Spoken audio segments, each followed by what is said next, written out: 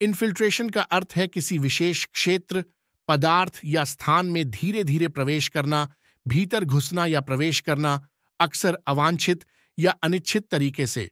इस शब्द का उपयोग विभिन्न संदर्भों में किया जा सकता है, जैसे चिकित्सा में इन्फिल्ट्रेशन अक्सर शरीर के ऊतकों में विदेशी पदार्थों या कोशिकाओं के आक्रमण को दर्शाता है।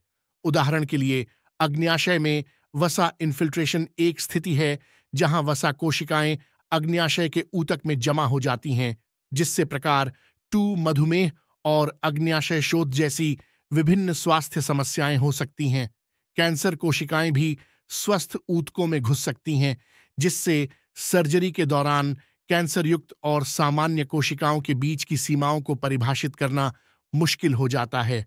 मृदा यांत्रिकी और जल विज्ञान के संदर्भ में इन्फिल्ट्रेशन का अर्थ है पानी का मिट्टी की सतह में प्रवेश करना और उसके माध्यम से गुजरना इन्फिल्ट्रेशन की दर और सीमा मिट्टी के संगठन संहिता और हाइड्रोलिक गुणों जैसे कारकों पर निर्भर करती है।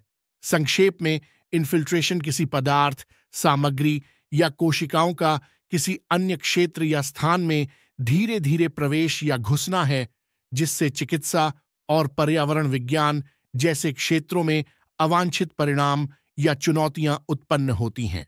और एक चीज़ मेरे भाइयों और बहनों वर्ड मीनिंग जानने से आपका वो कैब अच्छा होगा, पर आप अंग्रेज़ी नहीं सीख पाओगे, क्योंकि मैंने खुद यह अनुभव किया है। जिस तरीके से मैंने अंग्रेज़ी सीखा है और आज मैं अच्छी अंग्रेज़ी बोलता हूँ, उस ज्ञान और अनुभव को मैंने एक कोर्स के रूप में बनाया है, जिसे आप डिस्क्रिप्शन में जाके देख सकते हैं।